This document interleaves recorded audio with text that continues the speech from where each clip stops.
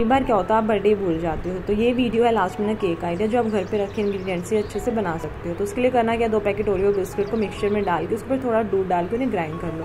फिर उसके ऊपर Parle G biscuit icing sugar baking powder baking soda घी डाल के उसके ऊपर फिर थोड़ा सा दूध डाल के उन्हें अच्छे से ग्राइंड कर लिया एक बर्तन में मैंने अच्छे से घी लगा के रख दिया और अपने मिक्सचर को उसमें ट्रांसफ़र कर दिया दूसरी तरफ़ मैंने एक भिगोने में नमक डाल के उसके ऊपर स्टैंड लगा के प्री हीटिंग के लिए फिफ्टीन मिनट के लिए रख दिया। मैंने अपने केक वाले बर्तन को थर्टी मिनट के लिए उसमें रख दिया।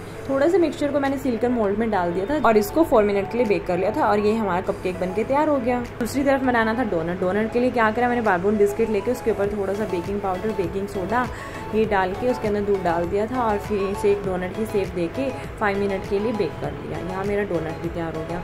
ओरियो बिस्किट की जो अंदर वाली क्रीम थी, उसको मैंने थोड़ा सा दूध डाल के अच्छे से मेल्ट कर लिया।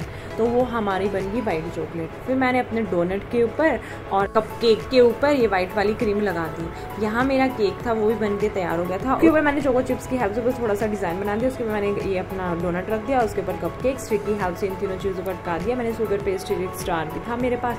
वो मैंने उसके ऊपर अटका दिया। थोड़ी सी स्प्रिंकल से स्प्रिंकल्स डाल दिए, थोड़ी सी चॉकलेट थी दुकस करके वो भी इसके ऊपर डाल दी। अगर रेसिपी पसंद आए तो चैनल को सब्सक्राइब करो।